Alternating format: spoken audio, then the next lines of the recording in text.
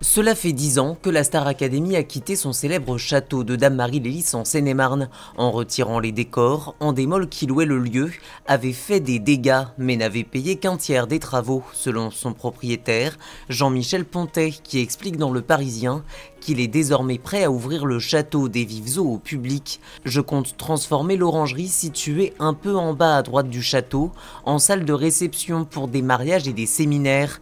J'ai supprimé les étages pour remettre les lieux dans leur état d'origine.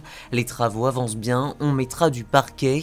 Cela représente plus de 100 000 euros, annonce le propriétaire dans Le Parisien, qui précise que dès le printemps 2019, la salle devrait pouvoir accueillir jusqu'à 150 personnes qui pourront danser là où a débuté Jennifer, un lieu où l'on pourrait aussi louer une suite nuptiale ou encore le studio d'enregistrement du célèbre château.